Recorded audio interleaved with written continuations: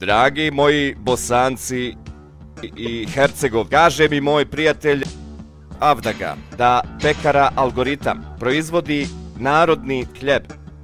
Predlažem da se ovaj hljeb zove Obama hljeb.